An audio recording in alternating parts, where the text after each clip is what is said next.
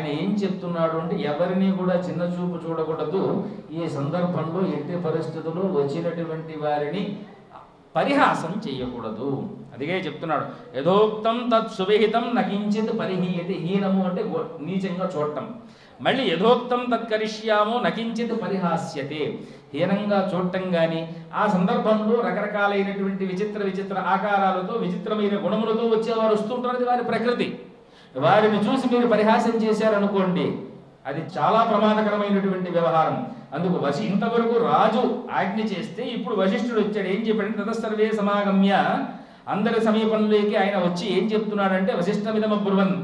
వశిష్ఠ మహర్షి ఇలా చెప్తున్నాడట. ఏమిటంటే యథోక్తం తత్సుభిహితం అన్నీ కూడా హితములుగానే ఉండాలి. ఎత్కించిన పరిహీయతే. ఎవరిని కూడా మనము చిన్న చూపుతో చూడకూడదు. అది శత్రువైనా సరే ఆ యజ్ఞవాటికలో ఉన్న జంతువు అయినా సరే.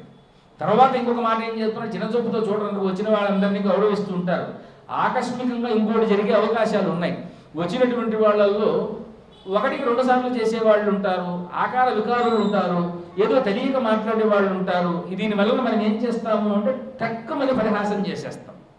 దాని వలన జరిగే ప్రమాదం ఎంత ఉంటుందో అంటే భారతాన్ని మనం స్మరించుకోవాలి. తెలియక నవ్విన కురుక్షేత్రం జరిగింది. అదే ఈ యజ్ఞ భాగంలో యజ్ఞవాటికలో ఏదైనా పరిహాసం చేశారనుకోండి వారి మానసికంగా ఏదైనా క్లేదం జరిగితే వాడు ఖిన్నుడైతే దాని వలన వచ్చేటువంటి గుణము అతి తీవ్రంగా ఉంటుంది కనుక వశిష్ఠుడంతటి వాడు వాక్యాన్ని ప్రయోగం చేస్తున్నాడు. ఏమిటి అంటే యథోక్తం తత్కరిష్యామో నకించిత్ పరిహాస్యతే. ఎవరిని కూడా ఎట్టి పరిస్థితుల్లో పరిహాస భావంతో మీరు ఈ యజ్ఞవాటికి నందు చూడకూడదు. యజ్ఞము అంటే జీవిత యానము. యజ్ఞమునందు ఏ విధములోనైతే మనము ఈ యొక్క శ్రద్ధాభావ లోపం చేత కలిగే అపుణ్యమైన కార్యక్రమాలు మన యొక్క పాప పుణ్యఫలాలని క్షయిస్తాయో అలాగనే యజ్ఞం యొక్క పుణ్యఫలాన్ని క్షయింపజేస్తుందో జీవిత ప్రయాణం అనేటువంటి యజ్ఞంలో ఎవరు వచ్చినప్పటికీ కూడా శ్రద్ధగా మనం వారిని సేవించుకుంటే సేవించుకుంటాం లేదు అంటే కళ్ళు మూసుకొని భగవన్నామస్మరణ చేసుకొని తప్పుకుంటాం. లేదా మన కర్మయందు మనం ఉద్యుక్తులై వెళ్ళిపోతూ ఉంటాం. అట్లా కాకుండా ఊరక కూర్చుంటే మనం ఇందాక అనుకున్నాం చూసారా ఊరక కూర్చుంటే ఏమొస్తుంది అంటే కనిపించే వాడికి పరిహాస భావం వస్తుంది.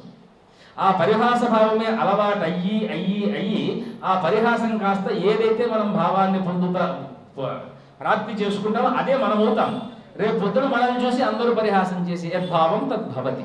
కనుక క్రోధం వచ్చింది అనుకోండి అందరినీ కోపించి కోపించి కోపించి కొంతకాలానికి అందరూ మనల్ని కోపించే పరిస్థితికి వచ్చేస్తుంది. ఇంకేదైనా భావాలు వచ్చాయనుకోండి మనం అదే భావాన్ని పొందుతాం కనుక శాస్త్రం వేదం చెప్తున్నది ఏమిటంటే మీరు దేన్ని పొందాలనుకుంటే ముందు దాన్ని మీరు అలవాటు చేసుకోండి. ఈ వాక్యాన్ని మీరు ఎప్పుడు గుర్తుపెట్టుకోండి. మీరు దేన్ని పొందాలనుకుంటారో దాన్ని మీరు అలవాటు చేసుకోవాలి. ఇది బ్రహ్మవాక్యం. కనుక యద్భావం తద్భవతి. మీరు భగవంతుడిలాగా భగవంతుని ప్రార్థన చేసుకోవాలి అనుకోండి మీరు ముందు భగవన్ నామస్మరణ చేయండి. లేదు కాశీయాత్ర వెళ్ళాలనుకోండి ముందు కాశీయాత్ర గురించి సంకల్పం చేయండి. మీకు కాశీయాత్ర ప్రాప్తిస్తుంది. సంకల్పం చేయకుండా మేము కాశీ పోదాం అనుకున్నాము అంటే అనుకోవడం పొందారు కనుక అనుకుంటూనే ఉంటారు. అలాగా ఏది అనుకుంటారో దానికి తగినటువంటి తపస్సు చేస్తే అది మీరు అవుతారు. భావంగా ఉండాలి ఆలోచనాత్మకంగా కాదు. అందుకే ఈయన కూడా ఏం చెప్తున్నాడు అంటే తదస్సుమంత్రమానీయ వశిష్ఠో వాక్యం వాక్యం అబ్రవీత్. సుమంత్రుడే అయినటువంటి ఆ రథసారథిని పిలిచి ఆయన అత్యంత ప్రీతిపాత్రుడు ఎవరికి? దశరథుడికి. ఆయన ఫస్ట్లో మనకు మంత్రిగానే చెప్పాడు కానీ ఈయనకు అన్ని సలహాలు ఇస్తున్నవాడు ఆయన కనుక మంత్రిని సంబోధన చేశారు. ఆయన ఈ యజ్ఞము జరగటానికి ఆయన పరాక్రమమైనటువంటి నలుగురు కుమారులు రావడానికి సలహా దేవయుగంలో జరిగినటువంటి కథను చెప్పి ఆయన ఈ యజ్ఞమునందు ఉద్యుక్తుడు చేసిన వాళ్ళలో సుమంత్రుడు కూడా ఒకడు కనుక అన్ని పనులు ఆయనకు మంత్రిలా చేసి పెట్టేవాడు కనుక వశిష్ఠుడు కూడా సుమంత్రుడైనటువంటి రథసారథికి అంత సమ్మానాన్ని ఇచ్చి ఆయన్ని పిలిచి భార్య ఈ యొక్క భారాన్ని ఆయనకు అప్పచెప్తున్నాడు తదస్సుమంత్రమానీయ వశిష్ఠో వాక్యమబ్రవీత్. నిమంత్రయస్వ నృపతీన్ పృథివ్యాం ఏ చ ధార్మికా. బ్రాహ్మణాన్ క్షత్రియాన్ వైశ్యాన్ శూద్రాన్శ్చైవ సహస్రశ. సమానయస్వ సత్కృత్య సర్వదేశేషు మానవాన్. కాబట్టి ఇప్పుడు మనం జరుగుతున్నటువంటి యాగంలో నిమంత్రయస్వ నృపతేన్ పృథివ్యాం ఏ చ పైగా ఇక్కడ ఒక పదం వాడారు ధార్మికాహ అంటే ఆనాడు రాజ్యంలో అధార్మికులైనటువంటి వారు ఉన్నారా అంటే ఉండలే లగ్గన పాటిస్తున్నటువంటి ఈ అసురుడైన రావణాసురుడు లేదా వాడికి ఈ విషయం తెలిస్తేనే పిలవకపోయినా వస్తాడు యజ్ఞధ్వంసాయని. కనుక ఏ చ రాజా? ఎవరైతే ధార్మికులైనటువంటి రాజులు ఎవరెవరు ఉన్నారో వారందరినీ కూడా ఈ యజ్ఞానికి ఆహ్వానం చెయ్యండి. వారి వారి స్థానాల్లో వారిని నిమంత్రించండి. అంతేకాకుండా బ్రాహ్మణాన్ క్షత్రియాన్ వైశ్యాన్ శూద్రాన్ చైవ సహస్రశ. ఆ రాజ్యంలో ఏ ఏ బ్రాహ్మణులు శూద్రులు వైశ్యులు మిగిలినటువంటి జాతులు వారు నివసిస్తూ ధార్మికులై ఉన్నారో అంటే రాజు ధార్మికుడైతే తప్పకుండా ప్రజలందరూ కూడా ధార్మికులే. యథారాజ తథా ప్రజ. కాబట్టి రా- రా- రాజు ధార్మికుడైతే ఆ ఆ రాజును మనం పిలిస్తే చాలు ఆ యొక్క రాజ్యంలో చాటం వేస్తే చాలు. మిగతా అందరూ కూడా అనాహూయాద అద్ధరం గచ్చేదని వేదవాక్యం. పిలవకపోయినప్పటికీ కూడా యజ్ఞం ఎక్కడ జరుగుతుందో అక్కడికి వెళ్ళాలి. ఇప్పుడు మనం రామయాగం చేస్తూ ఉన్నాం. ఇప్పుడు అందరినీ పిలవాల్సినటువంటి అవసరం లేదు. ఎందుకు అంటే లేదు అని స్వామివారి ఇద్దరు కరాగండిగా చెప్పారు కాబట్టి మేము రాము అనడానికి లేదు. ఎందుకంటే వేదవాక్యం చెప్పడానికి ఈ ఈ మాట చెప్తున్నాం. అనాహూయాద్ అద్భరం గచ్చేది కాబట్టి ఆహూయాత్ వివాహం నగచ్చేతని. కాబట్టి పిలిచినా సరే వివాహానికి వెళితే వెళ్ళొచ్చు వెళ్ళకపోతే పోవచ్చు నగచ్చేది అనేటువంటి దానికి వెళ్ళకూడదని కాదు కానివ్వండి అక్కడ కొన్ని రకాలైనటువంటి ఆశీర్వచనాలు ప్రభావాలు కొన్ని ఉంటాయి. లేదంటే విమర్శలకు స్థ- స్థలం ఇచ్చేటువంటి స్థలం. కానీ యజ్ఞం అట్లా కాదు.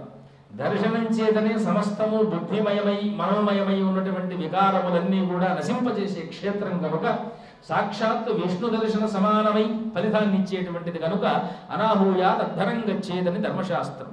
కనుక పిలవకపోయినా సరే మేము వెళ్ళి ఆ యజ్ఞ దర్శనం చేసి రావాలి. అట్లా ఈయనేం చేస్తున్నాడు అంటే అనాహూయా అద్ధరంగా గచ్చేది మనం పిలకపోయినా వచ్చేవాళ్ళు వస్తారు కానీ అట్లానే పిలవకుండా మనం ఉండకూడదు. మనం చేసేటువంటి లోకోత్కృష్టమైనటువంటి కర్మ. కనుక రాజులతో పాటు బ్రాహ్మణాన్ క్షత్రియాన్ వైశ్యాన్ శూద్రాన్ చైవ సహస్రశ వేల సంఖ్యల్లో అందరినీ కూడా ఆహ్వానం చెయ్యండి. సమానయస్వ సత్కృత్య సర్వదేశేషు మానవాన్. చుట్టుపక్కల ఉన్నటువంటి అంగవంగ కళింగ కాశ్మీర కాంబోజ్ సౌరాష్ట్ర మగధ మాలవ నేపాలాది రాజ్యాలు ఏవేవైతే ఉన్నాయో ఆ రాజులను ధార్మికులైనటువంటి వారిని ఆ రాజ్య ప్రజలను వేల సంఖ్యలో ఆహ్వానపరచండి. వచ్చినటువంటి వారికి ఈ సదుపాయాలన్నీ చెయ్యండి. వారి మనస్సుని మీరు యజ్ఞ సందర్భంలో ఆహ్లాదపరచండి. కనుక మిథిలాధిపతిం సూరం జనకం సత్యవిక్రమం నిశ్చితం సర్వశాస్త్రేషు తథా వేదేషు నిశ్చితం.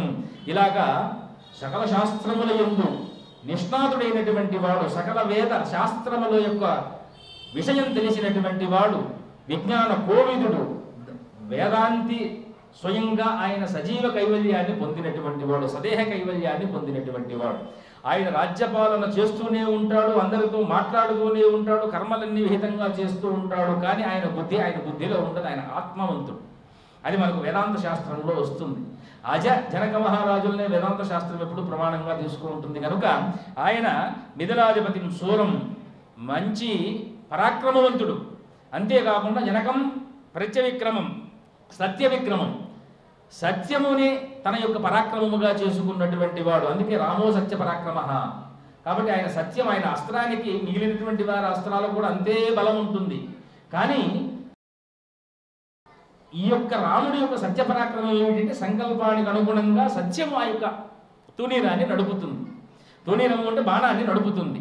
ఆయన ఏ దిశలో దేన్ని కొట్టాలి అని చెప్పి ఆయనకు ప్రతిభా పాఠవాలు ఉన్నప్పటికీ కూడా ధార్మికుడైనటువంటి వాడు అస్త్ర సంధానం చేస్తే ఆ అస్త్రం వెనుక కేవలం వారి యొక్క పరాక్రమమే కాదు ని- నిష్ణాతత్వమే పోదు. సత్యం వెళుతుంది. దేన్ని కుట్రలో దాన్ని ఛేదించి తిరిగి వస్తుంది. అలాగా సుగ్రీవుడి వాలి యొక్క సంహార సం- సంహారం చెయ్యాలి అన్నప్పుడు ఆ ఏడు తాళ వృక్షాలని ఒకే ఒక దెబ్బతో కొట్టాలి అంటే ఆయన ప్రయోగించినటువంటి అస్త్రం ఏకకాలంలో క్షణకాలంలో వాటిని భిన్నం చేసేసి పృథివీ అంతా ఒక పరిక్రమణ చేసి వచ్చి మళ్ళీ ఆ తూరి తూనీరంలో కూర్చుంటుంది అనేటువంటి వ్యాఖ్యానం మనకుంది. ఇదంతా దేని వల్ల సాధ్యము అంటే రామ సత్య పరాక్రమ. ఆయన యొక్క సత్యం అనేటువంటి పరాక్రమం వలనే సాధ్యం. మరి అస్త్రంలో నిష్ణాతులైనటువంటి వారు కూడా ఉన్నారు. వారికి ఇంతటి పరాక్రమం లేదు. ఎందుకు అంటే సత్యము లేదు వారి దగ్గర. లోకమంతా సత్యమై ఉంది కనుక సత్య వాక్యానికి ఎంతటి ప్రభావం ఉంది అంటే ఏది ఆజ్ఞ అయితే అది శాసనం అవుతుంది కనుక ఈ యొక్క జనకుడు కూడా ఎటువంటి వాడు అంటే బిదలాధిపతిం శూరం జనకం సత్యపరాక్రమం నిష్ఠితం సర్వశాస్త్రేషు తథావేదేషు నిష్ఠితం. ఆయన సకల శాస్త్రములు ఎందు నిష్ణాతుడు. సకల వేదములు తెలిసినటువంటి వాడు. కనుక తమానయ మహాభాగం స్వయమేవ సుసత్కృతం. పూర్వ సంబంధినం జ్ఞాత్వా తతః పూర్వం బ్రవీమితే కనుక పూర్వ సంబంధము యొక్క జ్ఞానము చేత ఆయనకు ఎరుకపరిచి ఆయన కూడా ఆహ్వానం చేసినట్టయితే ఇక్కడ యజ్ఞముతో పాటు పరబ్రహ్మ సాక్షాత్కారం కూడా మనకు లభిస్తుంది. ఎందుకంటే ఆయన నిత్యము పరబ్రహ్మ ముఖంలో విలీనమై ఉన్నటువంటి వాడు. కనుక అటువంటి వేద వేదాంగ తత్వజ్ఞుడు సకల శాస్త్ర కోవిదుడు సత్యపరాక్రమవంతుడు నిరంతరము సూర్యుడు జ్ఞాని అయినటువంటి వారిని మనం ఆహ్వానం చెయ్యాలి. దాని వలన ఏమవుతుంది అంటే ఈ యజ్ఞ- యజ్ఞ ఫలం ఏదైతే ఉందో అది సహస్ర అధికం అవుతుంది కనుక అటువంటి వాణ్ణి తప్పకుండా మీరు స్వయంగా వెళ్ళి పిలవండి. తర్వాత తథా కాశీపతం స్నిగ్ధం సతతం ప్రియవాదినం. మృదువైనటువంటి వాడు కాశీపతి కాశీరాజు. అంతేకాకుండా సతతం ప్రియవాదినం ఎవరు వెళ్ళినప్పటికీ కూడా ప్రియంగా ఆయన అందరినీ పలకరిస్తూ ఉంటాడు. వయస్యం రాజసింహస్య. కనుక ఆయన నీకు చాలా మిత్రుడైనటువంటి వాడు కాశీ మహారాజు. అలాగా స్వయమేవానయ స్వయ స్వహ. కనుక నువ్వు వెళ్ళి ఆయన్ను స్వయంగా పిలువు అని చెప్పి ఈ యొక్క వశిష్ఠ మహర్షి చెప్తూ ఉన్నాడు. తథా కేకేయ రాజానం వృద్ధం పరమధార్మికం. కేకయ రాజ్యానికి సంబంధించినటువంటి రాజు నీకు మామ అంటే కైకేయి మాత యొక్క తండ్రి శ్వశరుడైనటువంటి వాడు వృద్ధుడు పరాక్రముడైనటువంటి వాడు గొప్పవాడైనటువంటి ధార్మికుడు రాజసింహస్య స్వశరం రాజసింహస్య. కాబట్టి దశరథుడి యొక్క మామ కనుక ఆయన్ను కూడా సపుత్రం ఏ, ద్విహమానయ త్వమిహమానయ కనుక నువ్వు వెళ్ళి ఆయన్ను కూడా ధార్మికంగా ఆహ్వానం చెయ్యి. అలాగే అంగేశ్వరం మహాభాగం రోమపాదం సుసంస్కృతం వయస్యం రాజసింహస్య సమానయ యశస్వినం.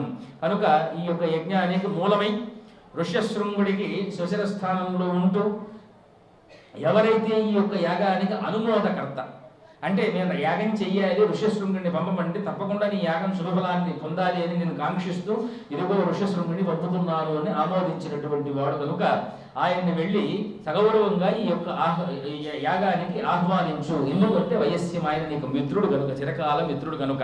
కనుక ప్రాచీనాన్ సింధుపో సౌవీరాన్ సౌరాష్ట్రేయాంశ్చ పార్థివాన్ దక్షిణాత్యాన్ నరేంద్రాశ్చ సమస్తాన్ ఆనయస్వహ కనుక ఏ ఏ రాజ్యాలు నీ యొక్క పరిపాలనలో సుభిక్షంగా పాలింపబడుతూ ధార్మికంగా ఉన్నాయో మిత్రత్వంగా ఉన్నాయో బాంధవంగా ఉన్నాయో అంటే బంధుగుణంగా ఉన్నాయో వాటినంతా కూడా వెళ్ళి పిలిచి స్వయంగా పిలిచి వాళ్ళని ఆహ్వానించమని చెప్పి చెప్పారు.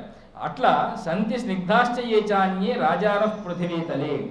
ఇంకా ఎవరెవరైతే మృదువైనటువంటి హృదయం కలిగినటువంటి వారు ధార్మికమైనటువంటి గుణములు ఉన్నవారు ఉన్నారో అందరినీ కూడా పిలిస్తే ఇక్కడ ఏమిటి అంటే యజ్ఞోవై విష్ణువు అని మనం చెప్పుకున్నాం. నా విష్ణువు పృథివీపతే.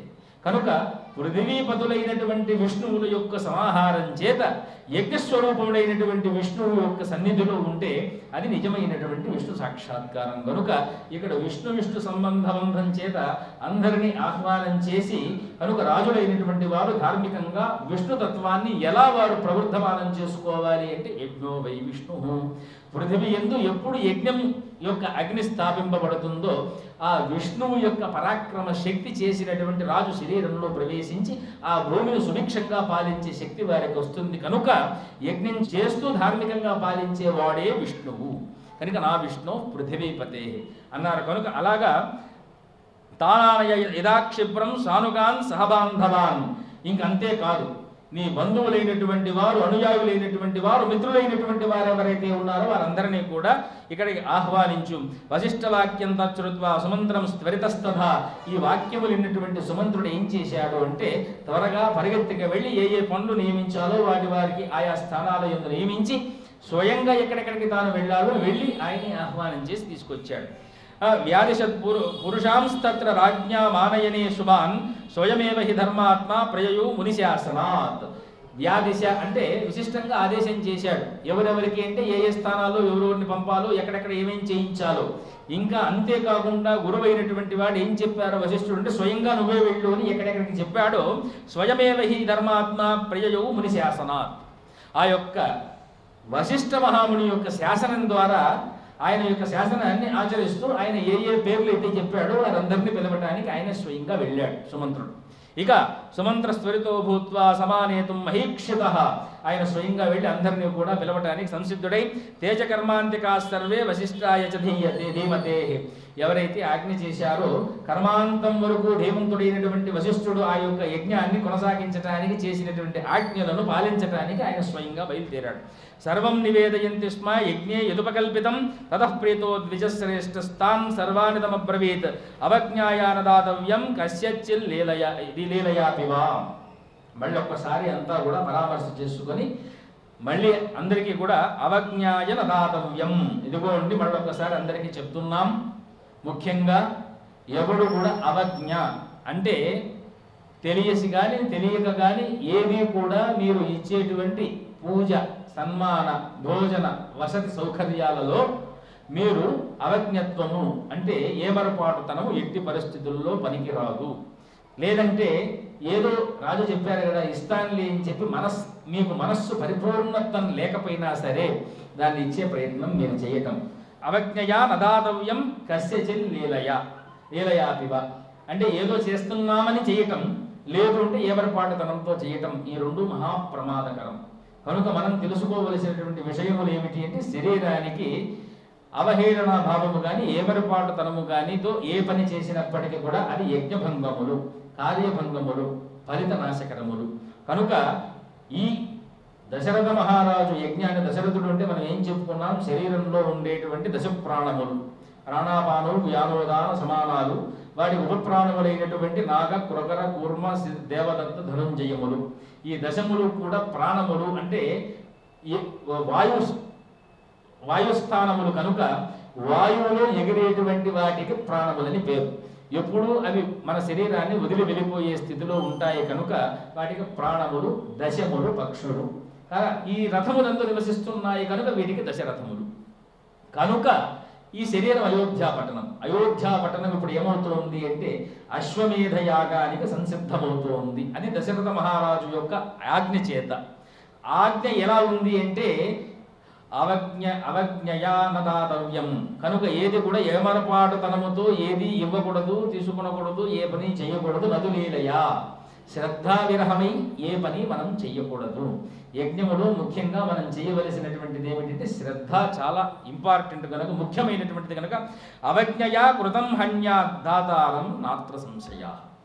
కనుక ఎవరైతే ఏమరిపాటుతనంతో కానీ హేయ భావనతో కానీ లేదు అంటే అశ్రద్ధగా కానీ చేసినటువంటి పనుల యొక్క దాతారం ఇస్తున్నటువంటి వాడిని కర్త ఎవరైతే ఉన్నారో వాడిని చంపేస్తుంది. వాడి యొక్క ఫలములను హన్యం చేస్తుంది. కనుక అవజ్ఞయా కృతం హన్యాత్. కనుక అవజ్ఞ చేత చేయబడినటువంటి ఫలము హన్యాత్. నశించిపోవటమే కాకుండా దాని వలన ఏమవుతుంది అంటే దాతారం ఇచ్చేవారు మీరు కాదు. మీరు కేవలము ఆజ్ఞ పొందినటువంటి వారే. ఇచ్చేవారెవరు? రాజు. కాబట్టి దాతారం నాత్ర సంశయ అన్యా అది ఇచ్చేటువంటి దాత యొక్క ప్రాణములను సంహరిస్తుంది ఫలితములను సంహరిస్తుంది. అంతేకాకుండా భవిష్యత్తులో మనం చేయవలసినటువంటి ధార్మికమైన పనుల యొక్క విషయ విజ్ఞానాన్ని కూడా మనలో బుద్ధిలో స్మృతి పదంలో నుంచి తీసేస్తుంది. కనుక అవజ్ఞయా కృతం హన్యాత్ దాతారం నాత్ర సంశయ. అవజ్ఞ చేత చేయబడేటువంటి పనుల వలన దాతారహ హన్యాత్. వాడు ఎవడైతే దాత ఉన్నాడో అది వాడి యొక్క ఫలములన్నింటినీ చంపేస్తుంది కనుక అవజ్ఞయాన దాతవ్యం కశ్యచిల్ లీలయా లీలయాపివా కనుక శ్రద్ధా విరహంతో కానీ ఏమరపాటు తనంతో కానీ ఏది కూడా వీడు చెయ్యకూడదు అని అందరికీ ఆజ్ఞ చేసి తతః కైశ్చిద్ అహోరాత్రైరుపయాతామహీక్షిత బహూని రత్నాన్యాదాయ రాజ్ఞో దశరథస్య వై తదోవశిష్ట సుప్రీతో రాజానమిదమబ్రవీత్. కనుక ఆయన శ్రమపడి యజ్ఞమునకు కావలసినటువంటి రత్నాన్యాదాయ బహువులు రత్నాలన్నీ కూడా తీసుకువచ్చారు. ఎందుకంటే యజ్ఞం అలంకరించడానికి అలాగనే రాజ్ఞో దశరథస్యవై దశరథుడు స్వయంగా తను తెచ్చినటువంటి రత్నములన్నింటినీ కూడా అక్కడ సమీకరించి యజ్ఞముకు ఏమేం కావాలో అన్ని సిద్ధం చేస్తున్నాడు. తతో బహూని రత్నాన్యాధాయ రాజ్ఞో దశరస్య వై తతో వశిష్ఠ సుప్రీతో రాజానమిదమబ్రవీత్. అక చేయబడుతున్నటువంటి యజ్ఞము యొక్క పనులను దర్శించినటువంటి ఆ యొక్క వశిష్ఠ మహాముని ప్రీతికరమైనటువంటి మనస్సుతో దశరథ మహారాజుతో ఇలా అంటున్నారంట ఏమిటి అంటే ఉపయాత నరవ్యాగ్ర రాజాస్తవ రాజానస్తవ శాసనాత్ అన్నీ కూడా సంభారాలన్నీ కూడా నీ యొక్క శాసనం చేత ఇక్కడ సమీక సమీకరించి ఉన్నాయి. ఆ సమీకరించినటువంటి యజ్ఞముల చేత ఇప్పుడు మనం ఏం చేయాలంటే మమాపి సత్కృతా సర్వే యదారహం రాజసత్తమా. యజ్ఞీయంచ కృతం రాజన్ పురుషై పురుషై సుసమాహితై. కనుక ఇక్కడితో మనం చేయవలసినటువంటి సన్నాహ సన్నద్ధాలన్నీ కూడా సమాప్తయ్యాయి ఇక మనం యజ్ఞానికి ఉపక్రమిస్తాము అనేటువంటి ప్రియమైనటువంటి వాక్యంతో ఆ వశిష్ఠుడు దశరథుణ్ణి యజ్ఞ కార్యక్రమానికి ఉద్యుక్తుణ్ణి చేస్తూ ఉన్నాడు. మిగిలినటువంటి యజ్ఞ భాగ విశేషాన్ని అంతా చెప్పుకుంటాం. ఇది చాలా పెద్ద సర్గ కనుక మనకు పాయసాన్ని ఇచ్చి ఆ పాయసం దశరథుడు వారి భార్యలకు ఇచ్చి వారు స్వీకరించిన తర్వాత వారు గర్భాన్ని ధరించడం వరకు చాలా పెద్ద ఘట్టం. కనుక దాన్ని మనం నిదానంగా ప్రతి శ్లోకానికి అర్థం చెప్పుకుంటూ వెళ్దాం